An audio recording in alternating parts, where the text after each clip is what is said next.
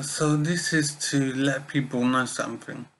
Um, I've noticed on my channel that um, I'm repeating topics from my videos. So I'm doing repeated vids basically.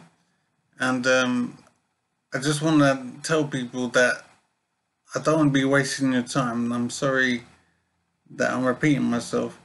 But the issue is I've had an and injuries affect my memory, so I simply am not aware that I'm repeating topics from my videos. So I, I don't know I'm doing it until afterwards and I see that I've repeated. So this is letting you know I didn't mean to waste your time or anything and um, I will try as much as I can to not repeat myself. It's just, it's really weird that when I do a video it feels like it's the first time I'm doing it and I have no awareness of doing the previous vid, even though it was a short time ago. So just letting you know. Okay.